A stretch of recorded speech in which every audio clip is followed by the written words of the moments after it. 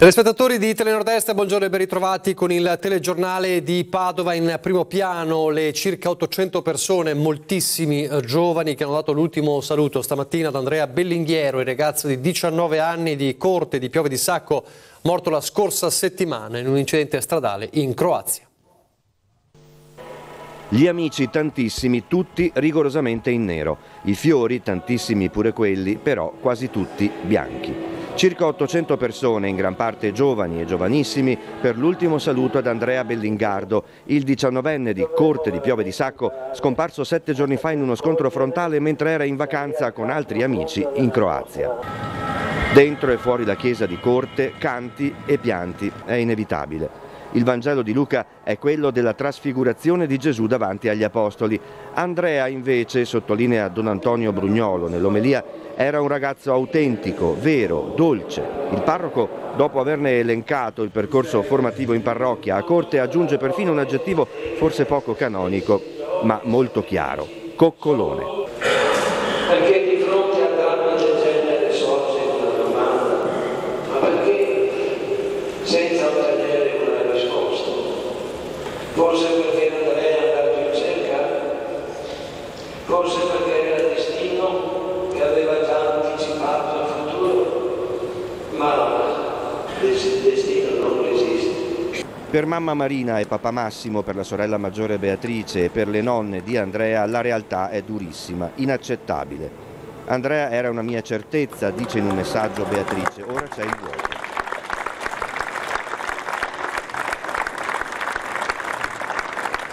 Il feretro esce e ne segue un lunghissimo silenzio da parte di tutti. Pare che, come l'Apostolo Tommaso, tra l'altro patrono di corte, che non credette a Cristo risorto, il popolo che ha amato Andrea Bellingardo non creda che non ci sia più a soli 19 anni.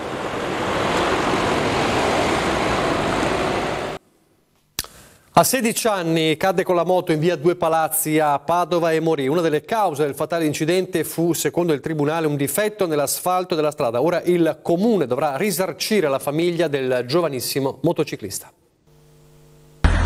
Un gradino sull'asfalto di via Due Palazzi, creato da uno strato nuovo e uno vecchio di bitume, è stata la concausa della caduta dalla moto che il 10 novembre 2017 costò la vita al sedicenne Viorel Catavelea. Il giovane centauro stava tornando a casa, a Ronchi di Villafranca, da scuola. Era in sella la sua Yamaha 125 quando nella via del carcere la sua due ruote ondeggiò bruscamente su un gradino che si era formato tra uno strato di asfalto vecchio e uno nuovo. Il ragazzo, secondo la perizia del consulente della procura, l'ingegnere Gianfranco Fais, per questo frenò e perse il controllo della moto, scontrandosi poi contro uno degli archetti a protezione dei pedoni alla sua destra e finendo poi addosso alla recensione di una casa. Il Tribunale in sede civile ha stabilito un 20% di responsabilità dell'incidente mortale al Comune di Padova, che dovrà risarcire con 170.000 euro la famiglia di Viorel Catavelea, più altri 25.000 di spese processuali. Il restante 80% di responsabilità è stato stabilito a carico del ragazzo che, sempre secondo la perizia, viaggiava ai 70 all'ora in una strada con limite di 40. La, adesso la situazione del West Nile, come sappiamo sono 70 il bollettino, l'aggiornamento di ieri in Veneto, i casi di questi 40 nel Padovano. Sono 70 i casi di West Nile in regione Veneto, di questi 40 sono sul territorio padovano, Rovigo e Treviso con 9 casi, Venezia con 7, Vicenza 3 e Verona con 2 casi. I morti sono stati 6 5 in provincia di Padova, l'età media si aggira intorno agli 82 anni. I medici di base, per voce del loro segretario regionale, il padovano Domenico Crisarà, confermano che sono subissati di richieste e di consigli su come difendersi dalla febbre del Nilo. I numeri, seppur più bassi del Covid, preoccupano i cittadini. Il contesto climatico che stiamo vivendo, con corsi d'acqua molto rallentati a causa della siccità, permette il proliferare di zanzare che sono il vettore su cui si muove il virus. I consigli sono quelli di evitare ci siano ristagni d'acqua nelle vicinanze dell'abitazione, di proteggersi con dei repellenti e di indossare pantaloni e maglie a maniche lunghe. Non è solo la West Nile presente sul territorio, si contano infatti 10 pazienti con la febbre dengue, 2 con il toscanavirus, 27 con la TBE, la malattia trasmessa dal morso delle zecche. Auto in fiamme a Conselve, l'autista è riuscito a mettersi in salvo da solo e a, a guardare il mezzo, poi prendere fuoco. È riuscito solo ad uscire dalla macchina intuendo che qualcosa non stava andando bene. Appena fuori dal mezzo, il rogo ha distrutto completamente l'auto. È successo venerdì sera verso le 8 in via delle Industrie a Conselve. Sul posto sono intervenuti i vigili del fuoco della stazione di Piove di Sacco. A poco più di un mese dall'inizio della scuola, gli uffici scolastici al lavoro per la assegnazione delle cattedre. Come si annuncia questo nuovo anno scolastico che si apre? Allora, come tempistiche siamo abbastanza in linea. Abbiamo da pochissimi giorni completato le immissioni in ruolo dai concorsi e dalle graduatorie di esaurimento. Completata l'assegnazione delle cattedre, il lavoro si sposta sulle supplenze annuali fino al 30 giugno 2023 o al 31 agosto 2023. Adesso partirà una procedura, è già partita una procedura che si chiama col veloce, cioè la possibilità per chi è nelle graduatorie delle altre regioni di poter essere assunti nella regione del Veneto, nelle province del Veneto. Dopodiché partiremo per posizioni ancora scoperte con le supplenze, che è un dato abbastanza fisiologico, ecco. ma siamo abbastanza in linea, anzi con qualche giorno di anticipo rispetto allo scorso anno, e questo ci aiuta a verificare anche le posizioni dei tantissimi richiedenti che hanno appunto fatto istanza di inserimento nelle graduatorie provinciali supplenze. Oltre 20.000 le domande di supplenza annuale arrivate per la provincia di Padova, metà delle quali giunte da insegnanti residenti al sud. Nel frattempo tutti sono in attesa di conoscere se Adesso il nuovo incontro in prefettura sull'avvertenza IMASAF, il tavolo però è aggiornato ai primi giorni di settembre. Vertice in prefettura sull'avvertenza IMASAF, l'azienda produttrice di marmitte di Cittadella. Al tavolo, aperto la scorsa settimana dal prefetto Raffaele Grassi, si sono seduti i sindacati, la proprietà, che la scorsa settimana non aveva potuto prendervi parte, il sindaco di Cittadella, Luca Piero Bon, e i rappresentanti degli industriali. Un incontro definito interlocutorio, confermano i rappresentanti dei lavoratori.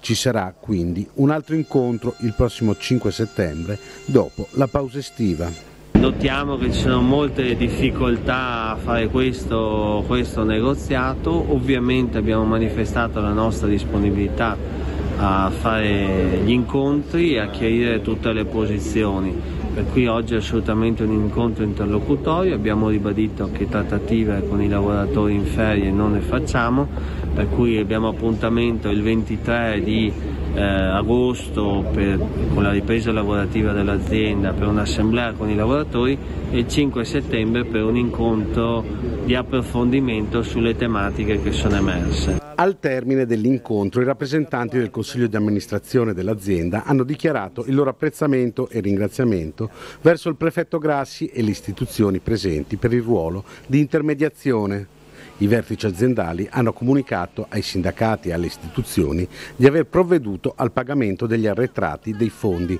che ammontavano a 680 mila euro. La giornata da bollino nero oggi per il traffico delle vacanze, allora siamo andati all'imbocco dell'autostrada A4 a Padova Est per vedere com'è la situazione, il nostro Guido Barbato in diretta. Guido, buongiorno, ti vedo. Buongiorno Nicola, buongiorno a tutti i nostri telespettatori. Sì, la giornata è decisamente di quelle impegnative sul fronte del traffico autostradale e anche, suppongo, eh, da notizie che abbiamo, su quello delle strade regionali e statali. Siamo con il commissario capo Giovanni Rossi del eh, primo, del primo centro operativo, centro di, operativo di Polizia Stradale di Padova. Eh, mi stavo perdendo un po', non è sempre facile ricordare tutto a memoria, per fare un po' un bilancio su quanto sta succedendo soprattutto intorno a Padova, città attraversata da due autostrade, la Padova-Bologna e la Padova-Venezia, è proprio in questa direzione forse che da stamattina le cose sono come è noto, magari un po' rallentate o complicate. Ci dica, commissario Capo. Allora abbiamo un traffico molto, molto critico nella corsia est della 4, ancora da stamane. Fra l'altro dopo le 10 di mattina vi è stato un incidente fra Padova Est e l'interconnessione con la 13 che ha determinato questo tipo di situazione.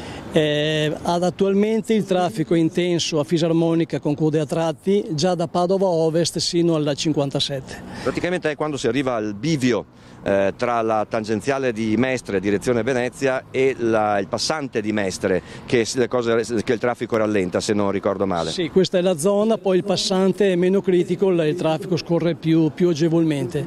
Abbiamo situazioni nella zona attorno a Padova, parlando dell'altopiano di Asiago, di rallentamenti in uscita a Piovene Rocchete per gli utenti che raggiungono l'altopiano di Asiago. Se parliamo di autostrada A4, eh, nella zona del lago di Garda si può interessare abbiamo un traffico molto intenso in uscita per gli utenti che raggiungono i vari parchi di divertimento e già la problematica di traffico intenso è già da Brescia sino a Peschiera, Somma Campagna. Sulla, Padova, sulla direzione Padova-Bologna ci sono state delle scritte un'ora fa che dicevano coda anche all'ingresso di zona industriale Padova. Sì, le confermo questo tipo di situazione, poi peraltro quell'autostrada viene seguita dai colleghi del COA di Bologna, però le confermo la situazione che lei ha detto.